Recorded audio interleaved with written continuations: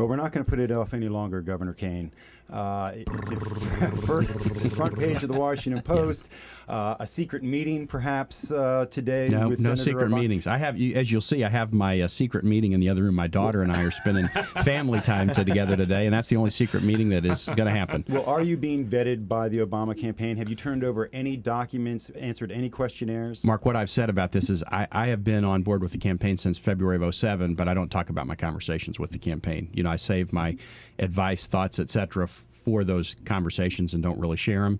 And I didn't endorse Senator Obama to get anything or get appointed to anything. I endorsed him because I thought he would be president and should be president. He has a unique mixture of skills and talents that are suited for the chal- very, very hard challenges that are going to face the next president. And I'm extremely gratified about how well he's done, and especially um, how well I think he can do in Virginia, which, as you know, is a state that hadn't gone for a Democratic presidential candidate since 1964. So that's my focus, helping him in any way I can. And I think the place I can be most helpful in, in my current capacity as governor is helping him out in Virginia If he asks, again, I'm I'm you know it's flattering to be mentioned. My mom loves it. She calls when she sees it. You know, but it is just uh, that's for the campaign to decide, and the campaign has made very very good decisions thus far, and I think they're going to make a very good decision.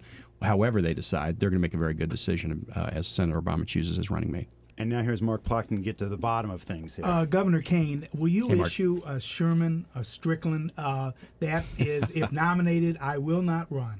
If elected, I will not serve. Now, g- former Governor Warner and Senator Webb said they will not serve. If Barack Obama Right. calls you up today and says, Governor, you're my choice, will you accept? Mark, you've asked me that question before. In fact, every month for about the last uh, 10 months. And I've said, I'm not going to issue any statement. Um, I signed on board with Senator Obama to help him.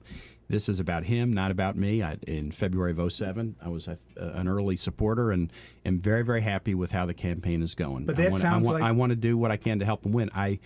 I do believe that my highest value is doing just what I'm doing now, which is helping him in Virginia, because normally Virginia isn't in play. This year it is.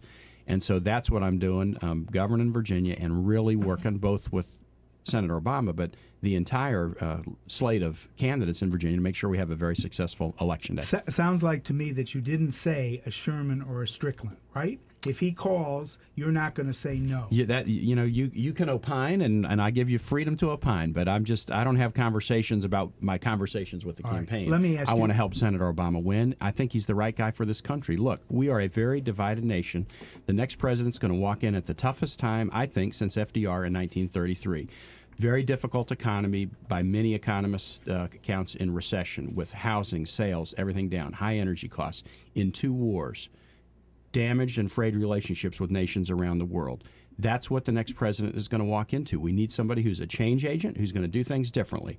We've got to have somebody who can bring this country together. Barack Obama's the right guy. Gov- why Governor. Governor, let me follow up on this. Yep. Remind me, when does your term end? It ends in January 2010. And that, and Will you that's finish that? That's what I wanted to ask. You have a Republican lieutenant governor, and uh, if you should leave, then the lieutenant governor would succeed you, and Virginia would be ruled by a Republican rather than a Democrat. How would that affect you? You've you've asked me a question that had four ifs in it, you know, and I usually don't think that far down the line. I mean, I may slip I may take a one if, but I don't take a three or four or five if question. So, Well, you how know, about look, this I'm question? just will you finish your term as governor? I'm- what will I'm- you say to the voters of Virginia that elected you? Will you finish your term? Mark, this I'm going to answer the same way I just did. Look, I don't talk about my conversations with the campaign.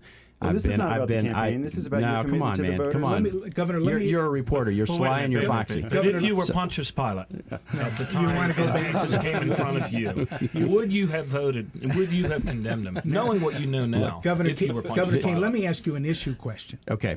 But Uh, again, all three of us sitting here, we're all on the same page in this. We're working hard for Senator Obama. We want him to be president. have any He's di- going to make the right pick. You do have some differences with um, on abortion with Senator Obama. Hey, I, Is di- that not I have differences with my wife. I mean, when we agree two out of three times, that's a good day. So you know that that's what the Democrats do. We're a big tent party.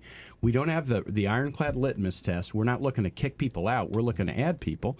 And so yeah, differences among Democrats. I mean, what was it Will Rogers said? You know, I don't believe in organized political parties, and that's why I'm a Democrat. you know, differences can be a strength. And my final question, uh, Governor Kaine, do you think the vice president, because John McCain is supposed to be so strong on national security, should have foreign policy experience? Mark, let me and tell you this. and- I hear the and question. Second part, and should have served in the military. Uh, l- let me answer this.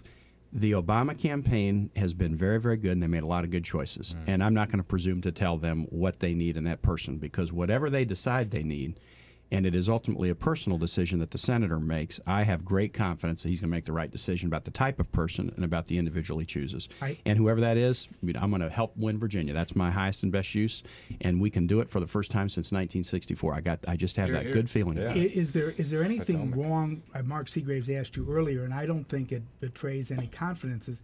Have you been asked for material uh, in terms of your taxes, uh, any materials whatsoever Yeah. that you've handed over? Mark, what I said about that is, you know, I've been with the campaign since February 07. I don't talk about my conversations with the campaign.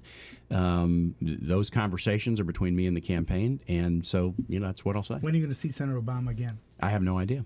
No meeting today by phone or in person. As I say. I've got my 13 year old daughter in the studio. We got a date right after this, and that's the only thing on my, My calendar final for the rest of the day. To, all- to Governor O'Malley and to Governor Kaine, having nothing to do with Governor Kaine's vice presidential ambitions or lack of ambitions, should Mayor Fenty be called Governor Fenty?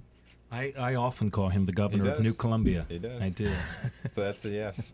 Governor Kaine? Uh, we we've got to issue. We've got to resolve this issue That's of right. DC representation. Absolutely, and and we're strong supporters of what the mayor wants to do. And, and I know you know Governor And Miller I and think I we're going to make a lot more progress after Yep. uh, January. in the first year. In first year, as soon as humanly possible. We want to thank everybody for coming in here. Uh, This has been great. Governor Kaine, Governor O'Malley, you come in all the time. Mayor Fenty, we appreciate you coming in. Thank you. And this show would not have happened without the staffs of all three of your offices coordinating, and with people here at A round of WTOP like Mitchell. Miller, who organized it's like this the whole Paris thing. peace talks Uh, we to really get that appreciate together. everybody coming in. Mark Plotkin, Bruce Allen. I'm Mark Segraves. We'll see you all next month.